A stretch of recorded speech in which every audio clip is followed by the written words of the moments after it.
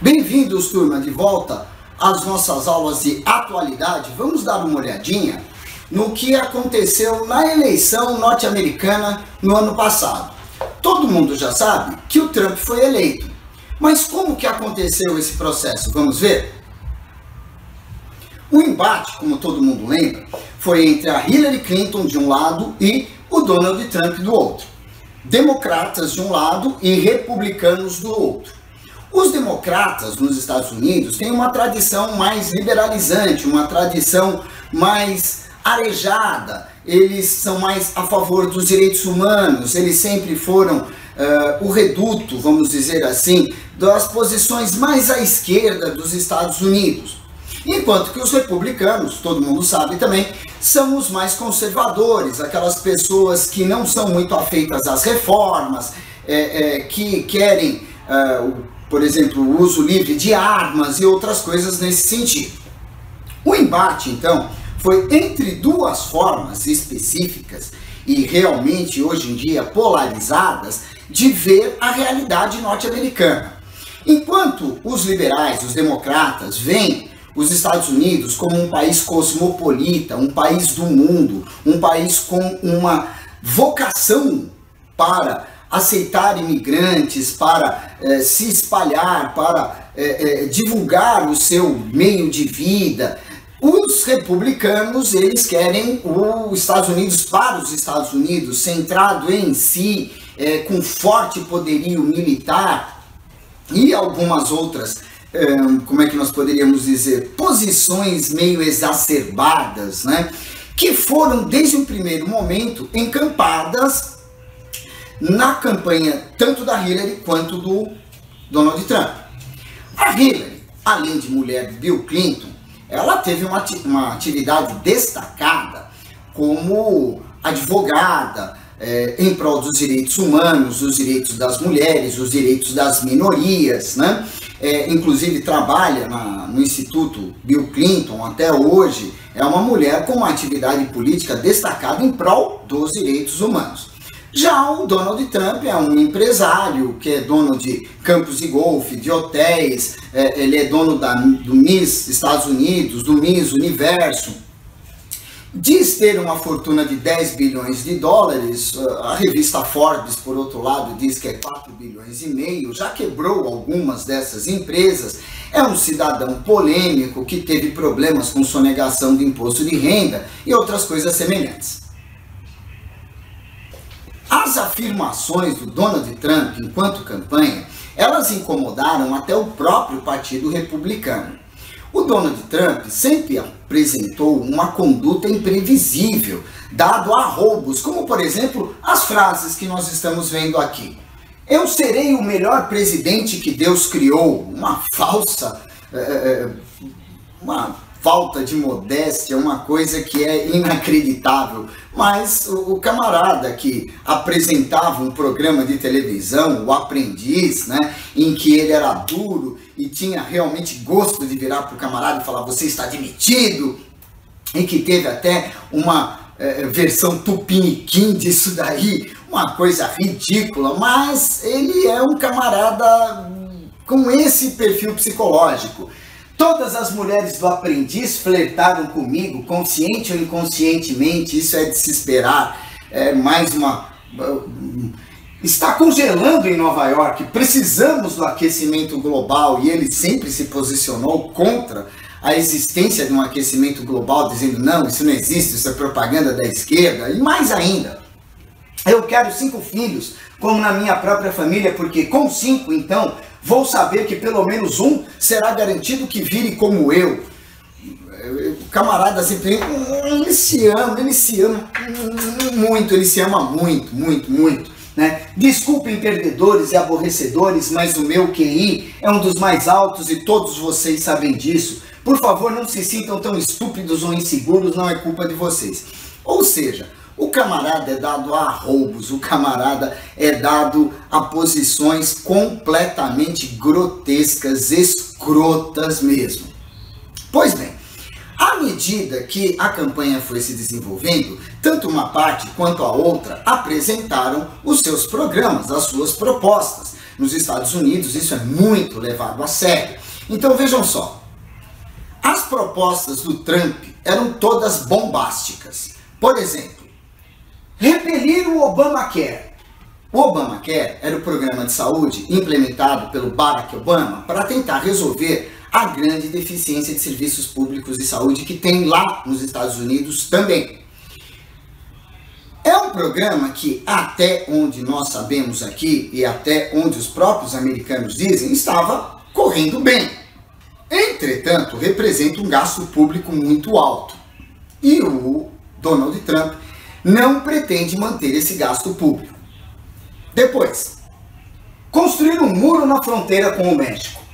Isso é uma sandice tão grande, é uma, é, é uma ideia tão imbecil que causou risos, na verdade, na maior parte da população. Né? Construir um muro. O próprio México, no momento, se sentiu ofendido. Houve um monte de polêmica mundial a respeito disso, um muro dividindo né, os Estados Unidos é, é, do, do, do, México. Vejam que eles fazem parte de um tratado comercial que é o NAFTA. Aliás, tratado esse que o Donald Trump é contra. O NAFTA e é, é, causaria um problema sério na economia norte-americana vedar o trânsito livre entre é, é, as massas ali na fronteira, ou seja, uma ideia que ninguém imaginou jamais que alguém poderia levar a sério, mas por incrível que pareça, teve gente que levou. Depois ainda, barrar imigrantes muçulmanos, de acordo com o Donald Trump, deveria acabar com todos os muçulmanos dos Estados Unidos e não recebê-los mais de fora. E mais ainda, deportar imigrantes. Quem fosse imigrante, se estivesse em situação ilegal ou ilegal, ou não fosse dos interesses dos Estados Unidos, ele queria que tivesse para fora. Mexicano, principalmente, é o alvo principal mesmo do ódio do Donald Trump. Renegociar tratados comerciais, especialmente o Transpacífico, e eu já citei o NAFTA. O Transpacífico é um tratado que engloba a Ásia e os Estados Unidos e a América em volta do Pacífico. Então, Chile, Peru, Equador, todos os países ali da América Central, o Canadá, os Estados Unidos, o lado da Ásia, o Japão, Coreia do Sul, uma série de países todo em torno do Oceano Pacífico estavam transacionando um acordo internacional a respeito de livres comércios e barreiras, queda de barreiras comerciais entre os países ao redor do Oceano Pacífico. Isso era um dos pontos principais da política externa do Obama, porque com isso o Obama conseguiu causar um grande desconforto na China, porque colocando a influência norte-americana em toda aquela região da Ásia, o Obama se colocaria numa situação vantajosa para negociar acordos comerciais com a China, trazendo gente que fica ali na porta da China para o lado dele, Obama. Essa é uma ideia de política a médio e longo prazo muito inteligente que o Obama tinha desenvolvido e que parece que o Donald Trump, com todo o QI que ele diz que tem, parece não entender. Mas vamos ver mais um ainda. Ó. Trazer indústrias de volta em seus empregos. O Donald Trump quer trazer a indústria automobilística de volta para os Estados Unidos. Bom, no modelo em que a indústria eh, norte-americana existia, ela hoje em dia não é mais viável. Primeiro, as estruturas verticalizadas que acontecem, como aqui no Brasil, empregador, empregado, e não com aquela horizontalização típica de uma atividade terceirizada, de atividades terceirizadas, isso não existe mais. O Barack Obama, já vendo que o futuro seria serviços, internet, estava realmente apontando a economia para esse lado. O Donald Trump ele quer voltar, ele quer a indústria dos anos 50, mas essa indústria não tem mais como existir.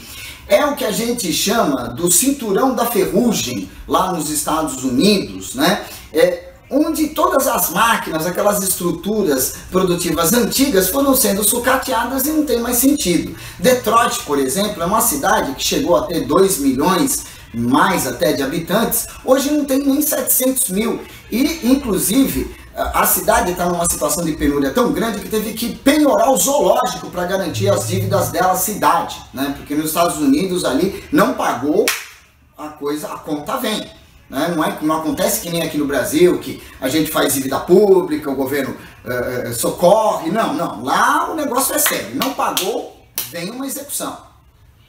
O Donald Trump quer reinstalar as indústrias. Como ele vai fazer isso? Ninguém conseguia imaginar corretamente. Mas cortar impostos. Além disso, ele pretende cortar impostos. Também é outra promessa comuníssima no mundo político, mas que ninguém sabe como é que vai ser feita. Fazer leis pró-armas, né, porque ele é a favor do porte de arma livre por todo cidadão. Lá nos Estados Unidos vende-se arma no balcão de supermercado. Né? Existem gôndolas para você comprar um 38, se você quiser comprar uma 12, você compra numa gôndola de supermercado. Destruir o Estado Islâmico, isso é inclusive um ponto comum na maior parte da política ocidental, e combater a corrupção. Pelo seu turno, a Hillary propunha uma continuidade do governo democrata mesmo do Barack Obama. Pelo lado da Hillary, ela queria derrotar o Estado Islâmico. Ela não põe a coisa em sentido tão violento assim, vamos destruir o Estado Islâmico, vamos derrotar o Estado Islâmico. Fazer cumprir o acordo nuclear com o Irã. Um dos pontos mais importantes da política externa do Barack Obama foi conseguir se reaproximar do Irã e negociar um acordo nuclear viável, que seria de interesse de todos no Oriente Médio, não somente de Israel.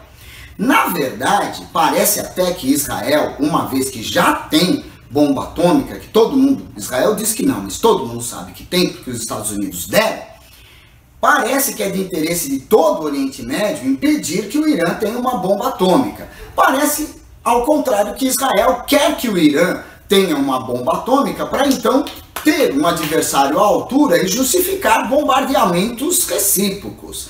O que é uma escalada armamentista que ninguém gostaria de ver no mundo. Ou seja, o Obama estava tentando apaziguar a região estava conseguindo, com sucesso, uma reaproximação com o Irã, coisa, aliás, que o Donald Trump já cortou. Vejamos mais. Investir em infraestrutura. Tanto nos Estados Unidos quanto no resto do mundo, a questão da infraestrutura é básica para que possa haver um processo produtivo eficiente. Os Estados Unidos já contam com uma infraestrutura muito melhor do que a nossa mas sempre é bom mais investimentos. Ela iria cortar também dívidas das famílias endividadas. Ela iria dar benefícios fiscais para que essas famílias endividadas conseguissem pagar suas dívidas e então reaquecer a economia, fazendo capilarizar a renda. Iria reduzir a burocracia para pequenos negócios. A ideia da pequena empresa, tanto lá quanto cá, é uma boa. Aumentar o salário mínimo. Os benefícios sociais, inclusive, tanto lá quanto cá, tem como parâmetro também o salário mínimo. Então, seria uma coisa interessante para tentar melhorar a distribuição de renda lá nos Estados Unidos. Manter o Obamacare, ela iria manter e provavelmente ampliar o sistema de saúde que o Obama idealizou realizar uma reforma na imigração, mantendo a imigração, porque a base dos Estados Unidos, histórica na verdade, é a imigração, tá?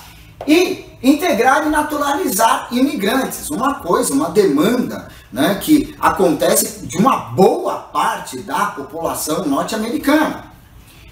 Controlar a venda de armas para que não hajam mais uh, uh, aqueles tremendos uh, assassinatos em massa, gente entrando em escola, atirando nas crianças e vai por aí afora, como a gente vê acontecer. E promover energia limpa, reduzindo as emissões de carbono e atacando, inclusive, o assunto do aquecimento global. Ou seja, era uma agenda politicamente correta, uma agenda plausível, voltada mesmo para integrações sociais, direitos humanos, equalização de direitos, de um lado, e do outro lado, uma agenda completamente biruta, de um camarada efetivamente desequilibrado, né, megalomaníaco, que era uh, alvo de chacota, inclusive. Mas, à medida que foram se desenvolvendo os debates entre o Donald Trump e a Hillary Clinton, a certeza de que a Hillary ganharia seria maior. No primeiro debate, eles apresentaram as propostas e combateram é, partindo para a baixaria pelo lado efetivamente do Trump, mas com algumas respostas, vamos dizer, no mesmo nível da própria Hillary. Então, no primeiro debate, todo mundo supôs que a Hillary tivesse vencido. 57%, 58% da opinião pública norte-americana naquele momento inclinou-se para Hillary. A briga no primeiro debate foi, de um lado, a falta de entrega da declaração do imposto de renda do Trump, que realmente falou que não iria entregar, não entregou e falou que não iria entregar. Contra o escândalo, isso é escândalo em termos norte-americanos, dos e-mails da Hillary, que foram postados de um servidor pessoal, um servidor que era do Instituto Clinton, né, onde ela trabalhava.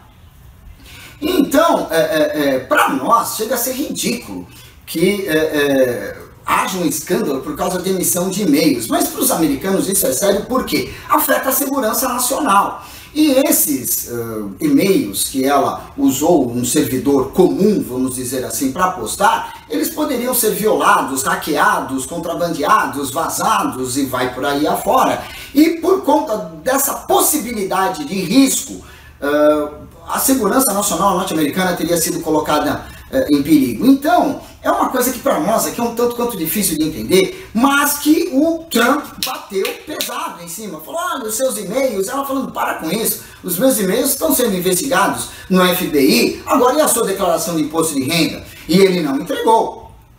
No segundo debate, a baixaria foi total. Inclusive a audiência no segundo debate ela caiu desastrosamente. No segundo debate, houve pontos extremamente polêmicos, começando novamente com essa questão do imposto de renda do Trump. Naquele momento, já no segundo debate, o processo contra Hillary Clinton a respeito dos e-mails tinha sido arquivado. E o Trump, num arrobo, falou: no meu governo a senhora estaria presa. Isso foi muito mal visto pela opinião norte-americana e pela, pela opinião mundial. Um, um, debate, um candidato ameaçar o outro de prisão, isso foi uma coisa assim do arco da velha, né? E ainda, né, a gente imaginou naquele momento que a Hillary tivesse se dado bem outra vez. Aliás, foi isso que saiu na imprensa mundial.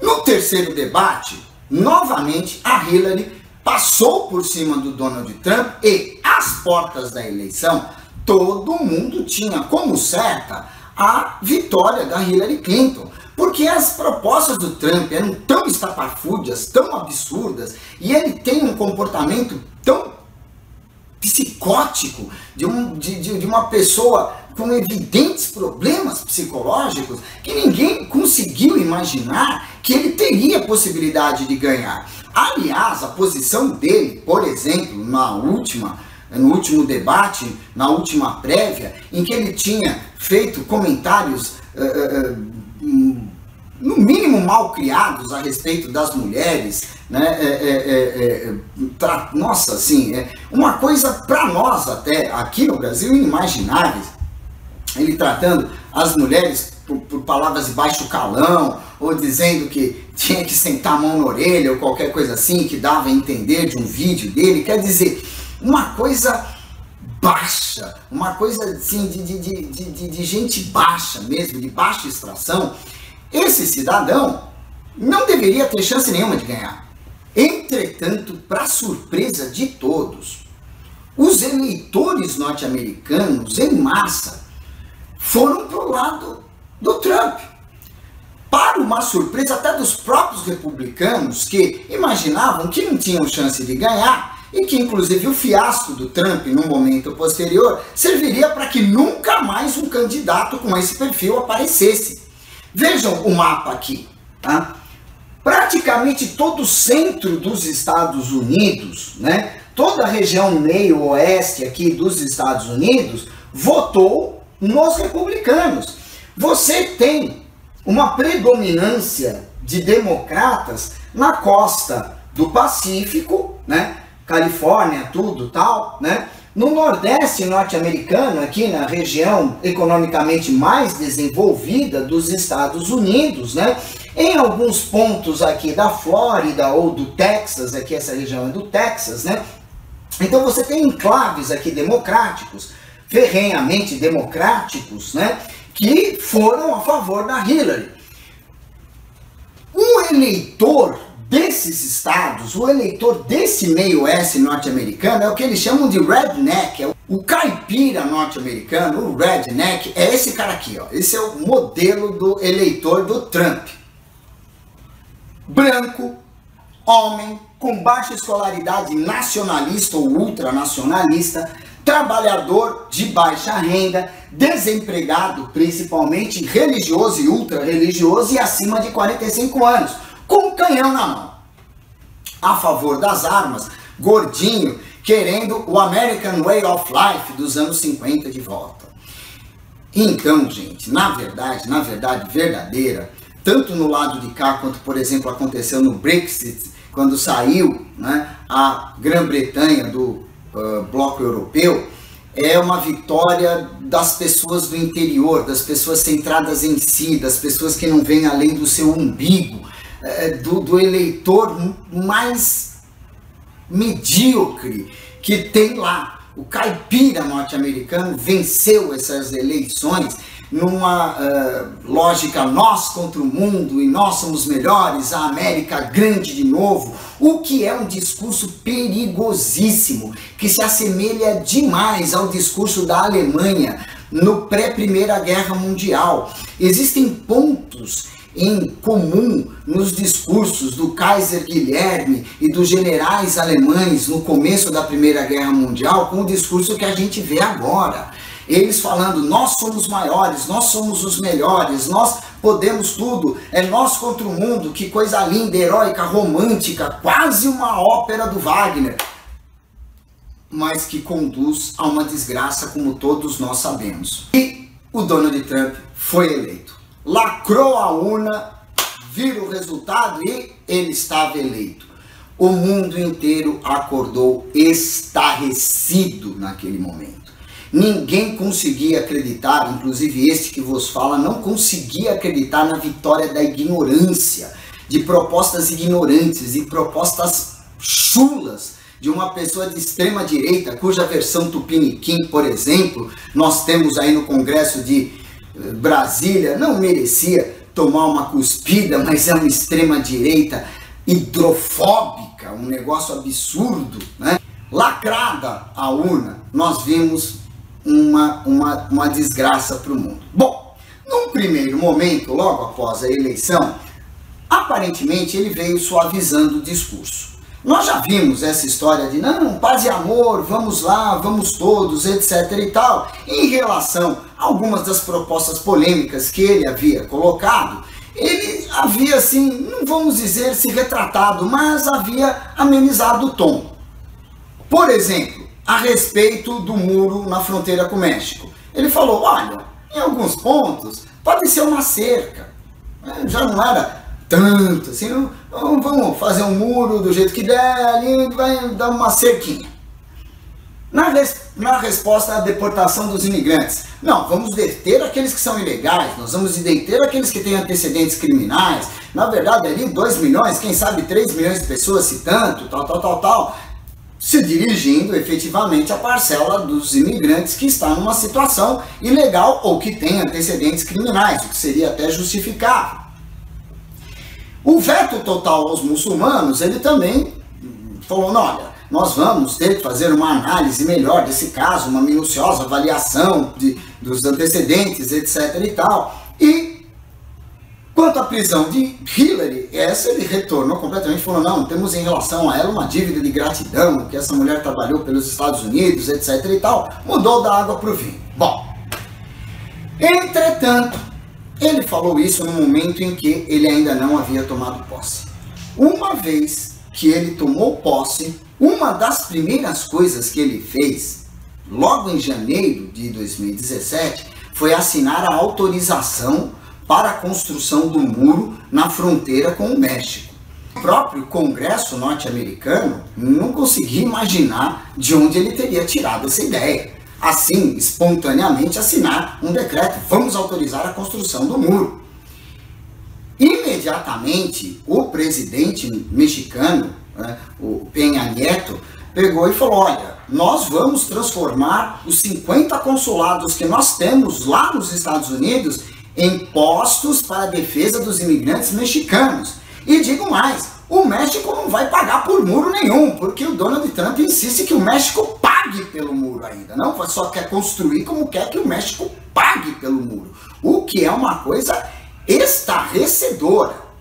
Mas ele assinou a autorização. Entretanto, o custo da obra, que chega a 25 bilhões, não foi dotado pelo orçamento norte-americano. O orçamento norte-americano falou: nós temos coisas mais importantes a se preocupar do que construir o muro do México e nós não vamos gastar dinheiro com isso. Então ele já bateu de frente com o Congresso norte-americano, que tem até maioria republicana, mas tem um monte de republicano que acha que isso é um absurdo. E isso é um absurdo. E mais ainda, no momento em que ele foi se encontrar com os países europeus, aos quais ele já tinha ameaçado, dizendo que os interesses dos Estados Unidos não estavam na mesma linha dos interesses europeus, quando ele foi encontrar com Angela Merkel, que é a chanceler alemã, um dos líderes do bloco europeu, ele cometeu uma gafe, uma deselegância grotesca tamanha. Ela estendeu para dar a mão para ele, para dar-lhe um aperto de mão. Ele simplesmente virou o rosto e ficou olhando para as câmeras. Como vocês podem ver aqui, a cara da Angela Merkel é de incredulidade. Ela tinha acabado de dar a mão para ele e ele vira para o outro lado e fica com essa cara de passarinho, bem TV, sem e ela recolheu as mãos, uma, uma coisa constrangedora, de gente grossa, um negócio medonho. Política internacional não se faz isso, daqui é um chucro que colocaram ali. E, e, e a pobre da mulher ficou numa situação uh, absolutamente vexatória, ou melhor ainda, vexatório ficou para ele, né? Porque feio fica para um cidadão desses. E aí saiu atacando a OTAN.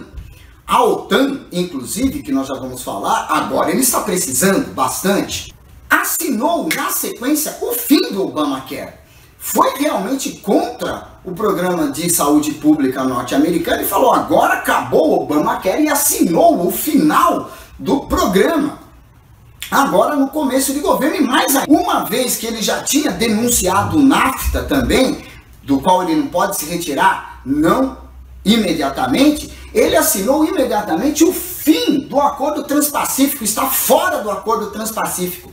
Quando ele fez isso, os 13 dirigentes do Partido Comunista Chinês que mandam da China devem estar dançando a dança da chuva lá, assim, falando: oba! Agora é tudo nosso! Tá tudo dominado! Porque com isso, o que ele fez, o que esse imbecil pensa que fez, é tentar fortalecer o comércio no interior dos Estados Unidos, ele entregou a Ásia na mão dos chineses, assim, de mão beijada. E vocês podem acreditar que os principais personagens que aplaudiram isso não foram os norte-americanos, foram os chineses que falaram: agora isso aqui é tudo nosso. É de uma, um raciocínio tão curto, tão pequeno, tão. que é, é, é, é não dá para acreditar que um cidadão desses tem o QI que ele diga que tem. Recentemente, espontaneamente, sem pedir autorização para o Congresso, sem revelar quais as intenções, ele despejou 59 mísseis na Síria. Gente, é mais ou menos como se em uma, um diálogo internacional alguém de repente sacar uma arma e dar um tiro. É, é, é uma, é um, um, gesto tão de uma, de uma bizarrice, de uma, é, é, é de uma agressividade que nós não queríamos para o século 21. O Trump já está indisposto com o Congresso por conta dessas coisas que a gente acabou de dizer.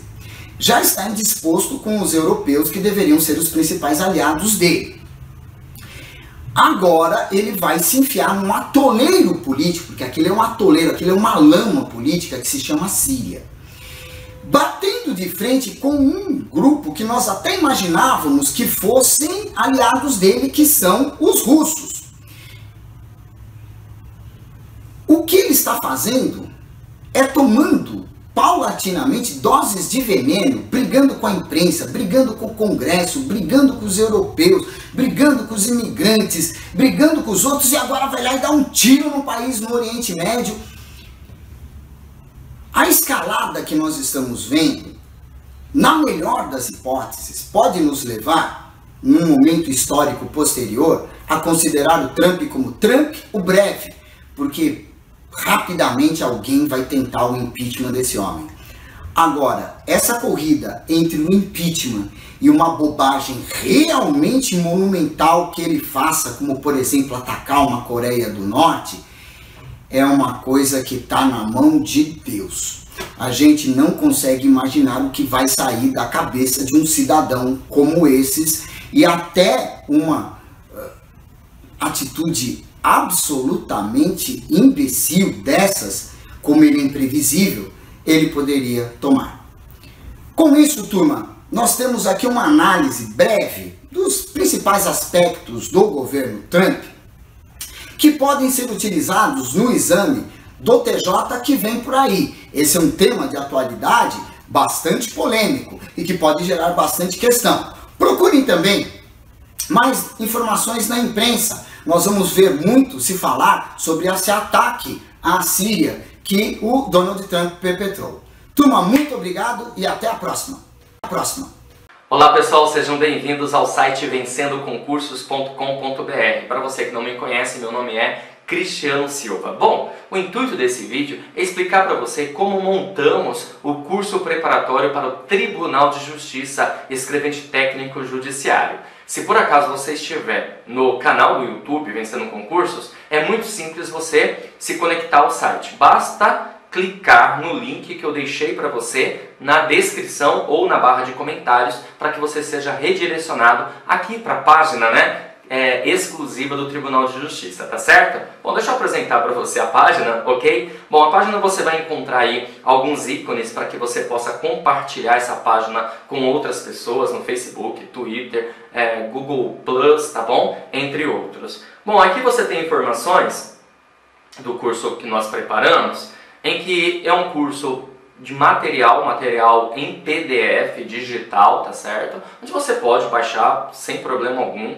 é, tudo bem? E esse material ele foi feito exclusivamente para o concurso Tribunal de Justiça, então logo está de acordo com o edital. Só que o, o bacana desse curso preparatório que nós montamos para você é que ao comprar o curso você é, recebe gratuitamente vídeos de questões comentadas das provas do, da, da VUNESP, inclusive das provas do Tribunal de Justiça, ok? E serão muitas questões, mas muitas questões mesmo. Porque na verdade, para você realmente conseguir aprovação no concurso, você precisa, com certeza absoluta, ter a teoria. E a teoria você terá no material em PDF e também no próprio material em PDF você também terá questões comentadas, escritas. Só que além disso, você receberá esses vídeos com questões comentadas, o professor explicando para você como, por que, é alternativa A, alternativa B, alternativa C e assim por diante. Isso, com certeza absoluta, vai ser o diferencial entre a sua aprovação ou não. Bom, para você conhecer melhor o curso, né, um curso material em PDF de acordo com o edital, você receberá esses vídeos com questões comentadas, que vai ser o diferencial para a sua aprovação. Nossa, mas quanto custa um curso desse? Olha, o curso nós estávamos comercializando no valor de 299. Nós estamos fazendo uma promoção especial por apenas R$ 89,90. É isso mesmo que você escutou. Por apenas R$ 89,90, que é um preço de uma apostila por aí no mercado, tudo bem? Você adquire o curso completo, material em PDF e, as, e esses vídeos com questões comentadas. Mas peraí, professor, me explica uma coisa. Qual é a diferença do seu material em PDF para uma apostila? A apostila, normalmente, ela tem um apanhado de informações, tudo bem? Um apanhado de informações é, das matérias. O nosso material ele foi especialmente direcionado para o TJ. Inclusive, eu estou deixando aqui para você, para você baixar a aula de aula 1 de cada matéria ou aula 00, para que você conheça o nosso produto e verifique com seus próprios olhos o porquê desse diferencial, o porquê vai fazer a diferença para você em ser aprovado ou não, tudo certo? Por quê? Porque é um material exclusivo, um material que foi feito, na verdade, com o intuito de você ter a matéria de maneira sucinta, a quantidade correta, mas pela qualidade requerida, ok? Então você pode, você vai pagar apenas R$ 89,90 ou você pode parcelar em três vezes sem juros no cartão no valor de R$ 29,97. Olha só, você pagar R$ 29,97 tá bom? Em três vezes, né? três parcelas de R$ 29,97 para ter um curso completo para o Tribunal de Justiça, ok? Então, concurso curso 100% focado no edital,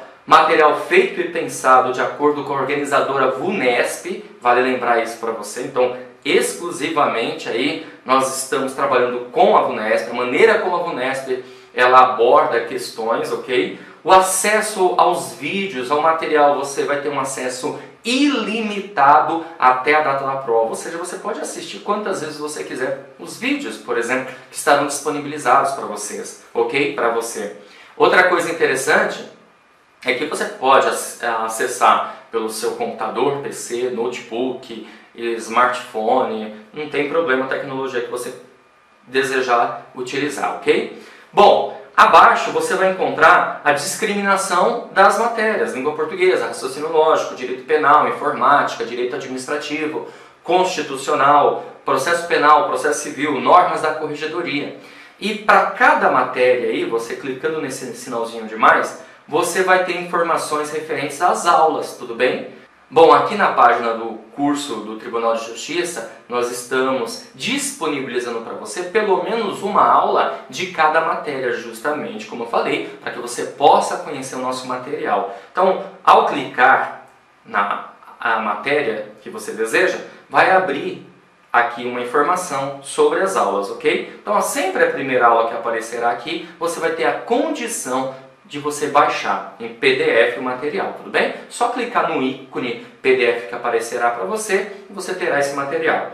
Bom, ao final você também encontrará vídeos, alguns vídeos também relacionados que nós estamos disponibilizando aqui nessa página para que mais uma vez você conheça o nosso produto e eu tenho certeza absoluta que ao conhecer o nosso produto você vai acabar adquirindo, tudo bem? Você vai fazer aquela comparação né, com os outros concorrentes, você vai acabar adquirindo nosso produto pela qualidade que ele se mostra para você, tá certo? Bom, esse era o recado que eu tinha para te dar. Espero você, ó, do outro lado da plataforma, estudando conosco, ok? Que você consiga aí a sua aprovação, porque aqui, vencendo concursos, você vence.